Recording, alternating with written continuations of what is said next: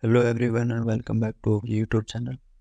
In this video, we will guide you through the process of resolving issues with the MyNISSAN app not working.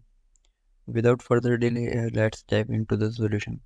First solution is force close and restart MyNISSAN app.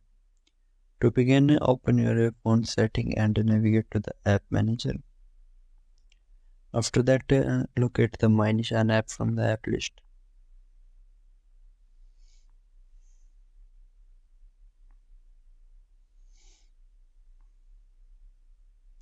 Then tap on it and uh, then select force stop from the bottom right corner.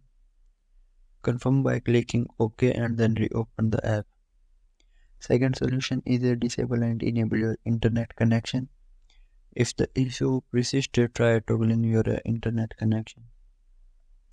If uh, you are using mobile data then turn it off for uh, 5 to 10 seconds.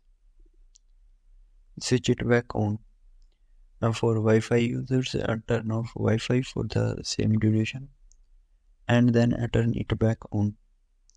Alternatively, activate aeroplane mode for the 4 to 5 sec seconds and then uh, turn it off. After that, check if the issue resolves.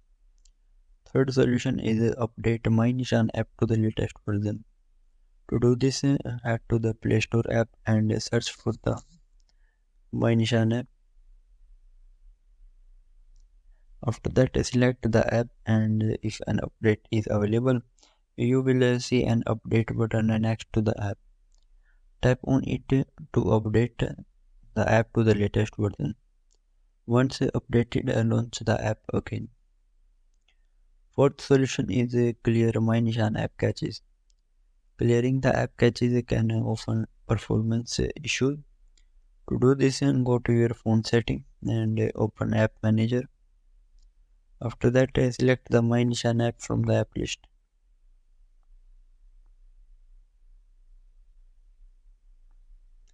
And then select uh, storage and caches. Finally, click on clear caches to clear the app caches. The solution is uninstall and reinstall the app.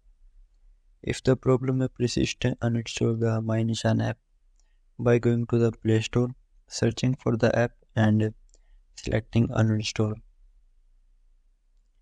Once uh, uninstalled uh, reinstall the app by clicking on the install button. If none of the above methods work the issue may be MyNISSAN app. Server is down. In such cases uh, you may need to wait for some time and try again later.